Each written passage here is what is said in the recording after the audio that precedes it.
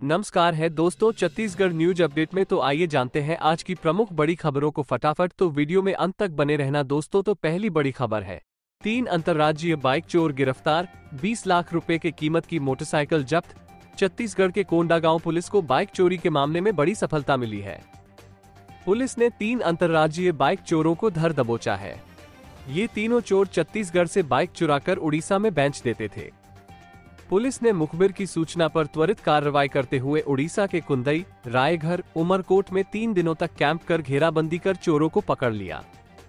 वहीं आरोपियों के निशानदेही पर पुलिस ने उक्त क्षेत्र से लगभग 20 लाख रुपए की चोरी के कुल 35 बाइक बरामद किए। दरअसल, कोंडागांव ज़िले में लगातार बाइक चोरी की शिकायत आ रही थी।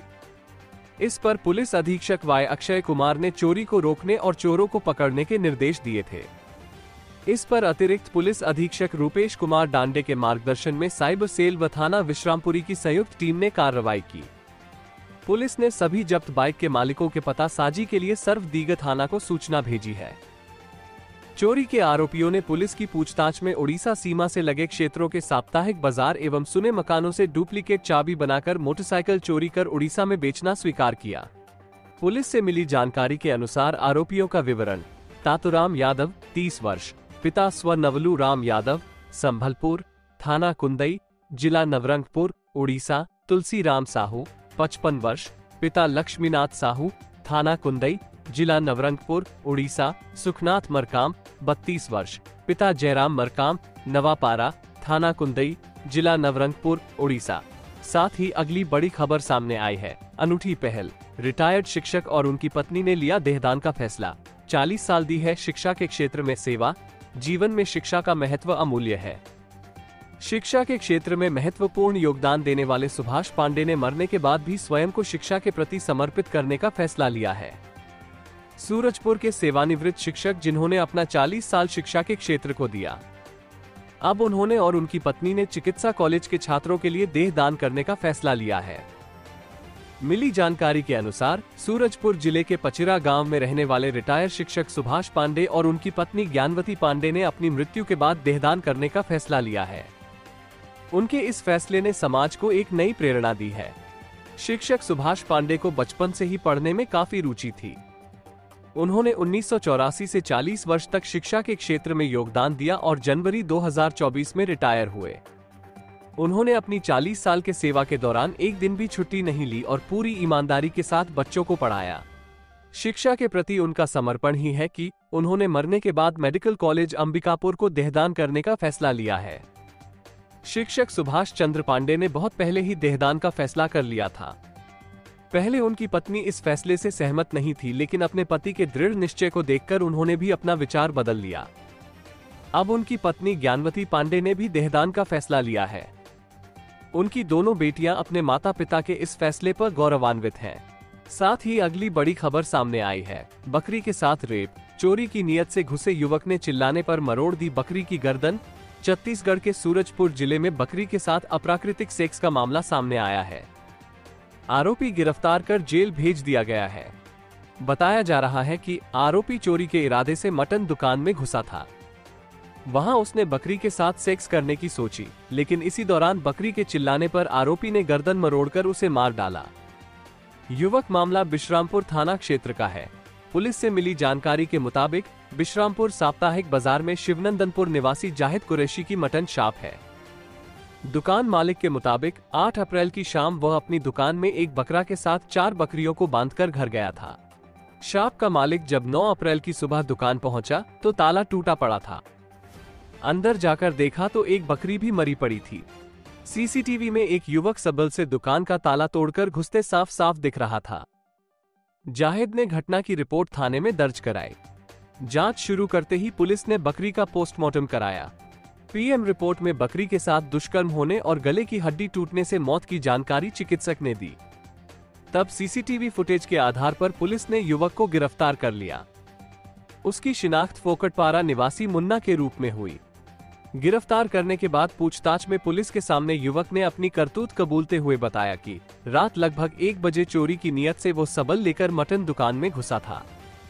लेकिन वहाँ पैसे नहीं मिलने पर उसने कमरे में बंधी बकरी के साथ सेक्स करने की सोची। इस दौरान बकरी के शोर मचाने पर उसने गर्दन मरोड़ दी, जिससे बकरी मर गई। अब पुलिस ने आरोपी को जेल भेज दिया है। इसी के साथ ही अगली बड़ी खबर सामने आई है। मुश्किलों में फंसे कवासी लखमा। पीएम मोदी के खिलाफ विवादित बयान पर भाजपाइयों ने निर्वाचन आयोग से शिकायत, छत्तीसगढ़ में एक बार सियासी सरगर्मी बढ़ गई है। बुधवार को बीजेपी का प्रतिनिधि मंडल मुख्य निर्वाचन पदाधिकारी कार्यालय पहुँचा, जहाँ उन्होंने बस्तर प्रत्याशी कवासी लखमा के खिलाफ शिकायत की है। कवासी लखमा ने बीते दिनों चुनाव प्रचार के दौरान एक सभा में हल्बी भाषा में कहा था कि कवासी लखमा जीतोड़ नरेंद्र मोदी ढोलतोड़ जिसका मतलब है कवासी लखमा जीतेगा और नरेंद्र मोदी मरेगा और खेल खत्म, राम राम। कवासी लखमा के इस बयान के बाद भाजपा महामंत्री संजय श्रीवास्तव, विधायक मोतीलाल साहू और भाजपा मीडिया प्रभारी अमित चिमनी समेत कई नेता निर्वाचन कार्यालय में शिकायत करने पहुँचे थे। मुख्य निर्वाचन पदाधिकारी से शिकायत के दौरान प्रतिनिधि मंडल ने कहा कि प्रधानमंत्री के लिए बस्तर लोकसभा प्रत्याशी कवासी लखमा ने विवादित बयान दिया है। कवासी लखमा लोकसभा चुनाव के दौरान भड़काऊ और विवादित बयान देकर आचार संहिता का उल्लंघन किया है। आय उनके विरुद्ध बार बार शिकायत के बावजूद भी कोई कार्रवाई नहीं हो रही है। आय बीजेपी ने मुख्य निर्वाचन पदाधिकारी से शिकायत कर बस्तर लोकसभा प्रत्याशी कवासी लखमा और बीजापुर विधायक विक्रम मंडावी समेत कांग्रेस के कई पदाधिकारियों के खिलाफ एफआईआर दर्ज करने की मांग की है। बीजेपी ने अपनी शिकायत में कांग्रेस प्रत्याशी कवासी लखमा की उम्मीदवारी निरस्त करने की मांग की है। उनके इस बयान को लेकर मंत्री केदार कश्यप ने भी उन्हें छत्तीसगढ़ का राहुल गांधी कहा था। पूर्व आबकारी मंत्री कवासी लखमा का कवासी चुनाव प्रचार के लिए बीजापुर ज़िले के कुटरू गए थे। दिन भर प्रचार के बाद वे शाम को जिला मुख्यालय लौट रहे थे। इसी बीच नैमेड गाँव में उन्होंने ग्रामीणों से बातचीत करने चौपाल लगाई थी। जहाँ वे ग्रामीणों को बता रहे थे कि ईवीएम मशीन में उन्हें किस तरह से वोट देना है। पहले चुलबुले अंदाज और फिर गोंडी बोली में कहा कि कवासी लखमा जीतोड़, नरेंद्र मोदी ढोलतोड़ और खेल खत्म राम राम। वहाँ मौजूद लोगों ने लखमा के इस बयान का वीडियो बना लिया, जिसके बाद यह वीडियो सोशल मीडिया पर जमकर वायरल हो रहा है। वे अपने बयान को लेकर सुर्खियों में रह चुके हैं। आपको बता दें कि पूर्व आबकारी मंत्री कवासी लखमा कोंटा विधानसभा सीट से लगातार छह बार से विधायक हैं। अब की बार कांग्रेस ने उन्हें बस्तर से लोकसभा प्रत्याशी बनाकर चुनावी मैदान में उतारा है और वे पहली बार लोकसभा चुनाव लड़ रहे हैं। वहीं इनके सबसे निकटतम प्रतिद्वंद्वी बीजेपी के महेश कश्यप हैं। साथ ही अगली बड़ी खबर सामने आई है। छत्तीसगढ़ में हाईवा ने बाइक सवारों को रौंदा। मौके पर ही तीनों की मौत। गुस्साए लोगों ने ढाई घंटे तक किया चक्का जाम छत्तीसगढ़ के कोरबा में तेज रफ्तार हाईवा ने बाइक सवार तीन लोगों को रौंद दिया। हादसे के बाद गुस्साए लोगों ने चक्का जाम कर दिया। हादसे के बाद चालक हाईवा छोड़कर मौके से भाग निकला। सूचना मिलने पर पुलिस पहुँची और लोगों को समझाने का प्रयास करती रही। हादसा बालको थाना क्षेत्र के रूमगड़ा पॉलिटेक्निक कॉलेज के पास हुआ है। स्थानीय लोगों ने बताया कि बाइक सवार तीनों लोग बालको क्षेत्र के रहने वाले थे। वे किसी काम से दर्री की ओर जा रहे थे। इसी दौरान सामने से आ रहे हाईवा से उनकी भिड़ंत हो गई। टक्कर लगते ही तीनों सड़क पर जा गिरे और हाईवा उन्हें कुचलता हुआ निकल गया। घटना की सूचना मिलते ही पुलिस मौके पर पहुँच गई है। हादसा इतना ज़बरदस्त था कि एक व्यक्ति के शव के टुकड़े टुकड़े हो गए हैं। पुलिस ने तीनों शवों को कब्जे में लेकर पोस्टमार्टम के लिए भेज दिया है। वहीं गुस्साए लोग सड़क पर देर रात तक चक्का जाम कर हंगामा करते रहे। लगभग दो से ढाई घंटे तक चक्का जाम चलता रहा। पुलिस प्रशासन और मृतक के परिजन के बीच मुआवजे के लिए बातचीत हुई, जिसके बाद चक्का जाम खत्म हुआ। लोगों ने भारी वाहनों की आवाजाही पर कंट्रोल करने और ब्रेकर की मांग की। वहीं हाईवा चालक की गिरफ्तारी की मांग भी की गई।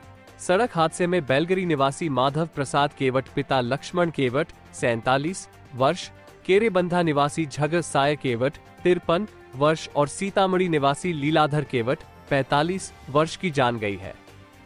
ये तीनों बाइक में सवार होकर बालको से कोरबा सीतामढ़ी वापस लौट रहे थे।